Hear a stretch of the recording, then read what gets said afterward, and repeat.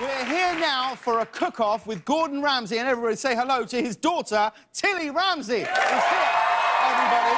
Now, uh, Tilly, you have your own cooking show at home on the BBC. Yes, so who is a better cook, you or your dad? Uh, definitely me. really? Really? What, why? What makes you better than him? Well, I'm just more relaxed. I'm not as. I'm not as mean. I'm, I'm just more chilled, to be honest. Yeah.